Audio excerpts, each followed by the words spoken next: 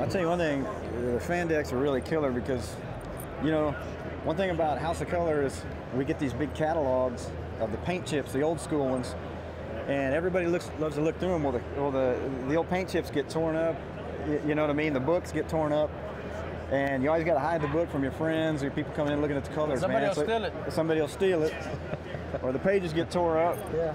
And so now we got these little booklets, man, and it just makes it uh, just ingenious. Yeah. And it's you know, easy.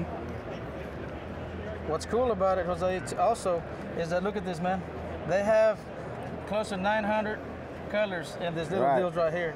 So that's enough to drive a painter crazy, you know, because there's too many colors in here that, uh, you know, you know how I am about colors. You know, sometimes I want to drink them because they look so good. Well, the thing is, the cool thing about all these colors, short dog, is you don't have to uh, really brew up your own anymore, because these are killer out of the book. Well, yeah, it's good that you say that. Yeah. But you know, since we like to make our own colors, Yeah. look how many we have Well, to yeah, choose from. exactly. So we have uh, uh, hundreds.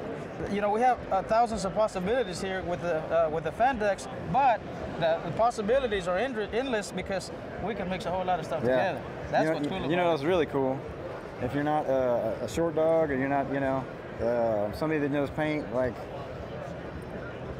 the best of the best. Yeah. Hey man, look, you got your mixing ratios, you got your, you know, everything on the back. Right, Well, there, you know, there's nothing that was missed on these things. You know, the, the, the, it tells you everything about the color, and obviously we have, you know, the, the standard, and then we have the uh, uh, KBC colors, and then we also Right. have the classics. You know, we have in each one of these uh, uh, fan dexes here. You know, we have the standard colors, uh, we have the KBCs, and then we have Yeah. the classic colors. That uh, I mean, there's endless possibilities to choose from as far as colors go. That's one Well, yeah. Cool thing about it. You know. Yeah, and then you know the KBCs, man, just the the ease of shooting it, not have to worry about the old standard, you know, the mixing of the base coats, you know, a lot of layers of the old candy.